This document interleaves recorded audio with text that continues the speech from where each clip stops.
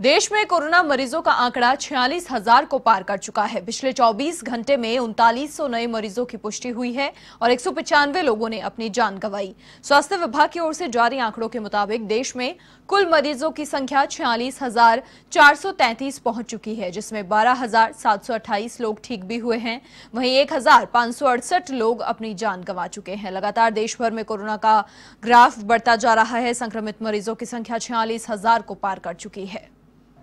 पंद्रह लोगों की अभी तक मौत हो चुकी है। बारह लोग स्वस्थ भी हुए हैं। सबसे ज़्यादा कोरोना की मार महाराष्ट्र को झेलनी पड़ रही है।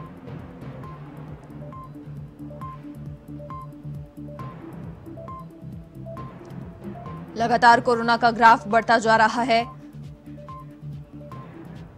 अब तक 12,728 लोग ठीक भी हुए हैं। महाराष्ट्र में कोरोना की सबसे ज़्यादा मार देश भर में कोरोना वायरस का ग्राफ लगातार बढ़ता जा रहा है।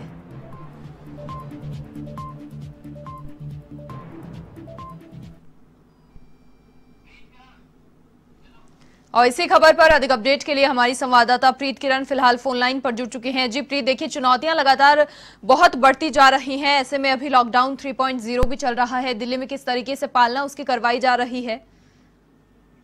जी, बिल्कुल मनीषा आज ये कहा जाए कि थर्ड टाइम जब लॉकडाउन बढ़ाया गया उसका दूसरा दिन है और आज जिस तरीके से दिल्ली सरकार ने फैसले लिए हैं पेट्रोल और डीजल के जो दाम है वो बढ़ा दिए गए हैं।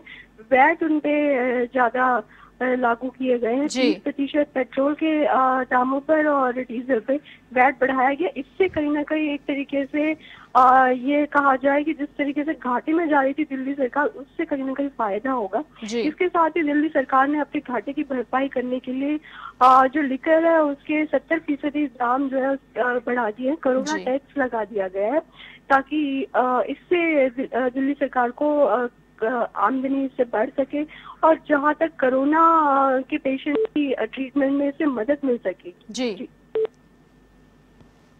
प्रीत एक और चीज़ मैं यहाँ पर आपसे ये जानना चाहूँगी। देखिए लगातार कल से जो तस्वीरें सामने आ रही थी शराब के ठेकों के बाहर तो क्या आज भी वैसे ही कुछ तस्वीरें देखने को मिल रही हैं? हालाँकि कल तो पुलिस को बल का प्रयोग भी करना पड़ा था।